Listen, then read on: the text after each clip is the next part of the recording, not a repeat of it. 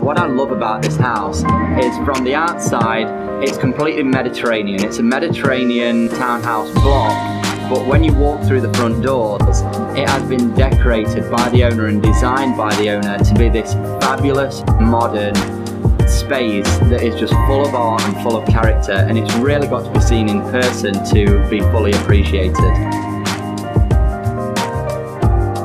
The owner of this house was able to source some of the most fantastic tile and natural stone that I've ever seen in a property.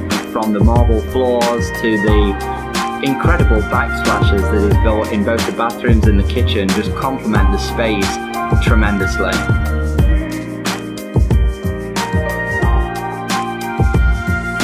This property is right in the middle of downtown.